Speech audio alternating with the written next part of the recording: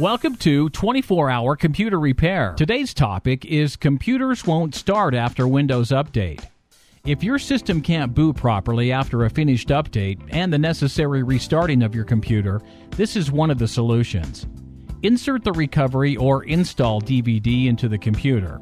When you first start your computer, the first screen you see should give you the key combination to press to enter a multi boot menu.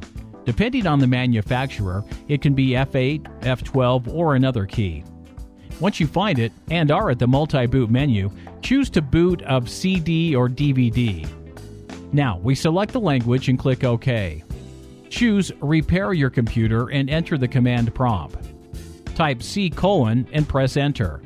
Then type CD C colon backslash Windows backslash WinSXS and press Enter. Then type del pending.xml and press enter.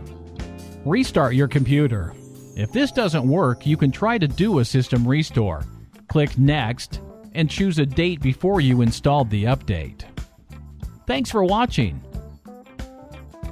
Subscribe to our channel and comment what would you like to have tutorials for. We will create it for free.